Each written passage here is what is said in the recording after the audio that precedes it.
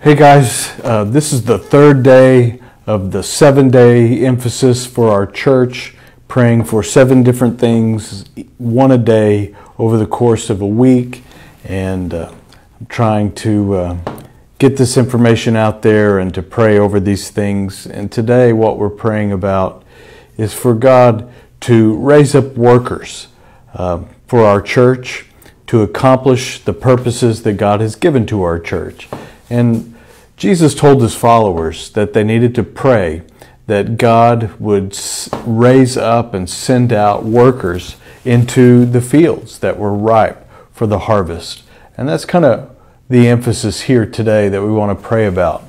There are two ways of looking at this.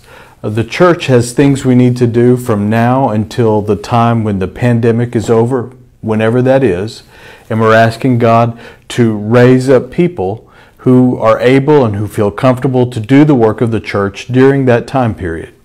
But we're also looking to the time when the pandemic is over. And we're asking the Lord to raise up and provide workers for the work that God needs to be done in the time when the, we are reopening our churches and our society the way that maybe it used to be. So we're praying that God would provide people to do the work of our church and every church here in Aransas County because every church is facing the same thing that we are, and they will all need workers, faithful servants who will do the work of the Lord and accomplish the purposes of the church. So let's pray together. Lord, we pause right now to acknowledge that the mission of the church is more vital and urgent and important to you than it is to us. And so you are going to be watching to make sure that your purposes in the local church are fulfilled. It is our desire, Lord, to see you raise up volunteers and people to lead in our ministries during this time of uh, the global pandemic. People who are who can be safe, who are comfortable working in these conditions, people who will be able to do the work that needs to be done right now.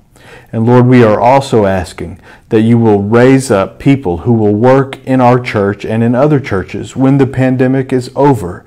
Because at that time, I believe that the people in, in Aransas County will be seeking something. They will be perhaps looking to re engage and reconnect with the church and with God's people. And we are going to need workers to do the work of the church when that time comes.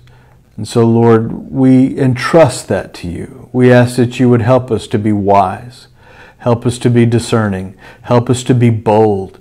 And Lord, help us to trust you in all things.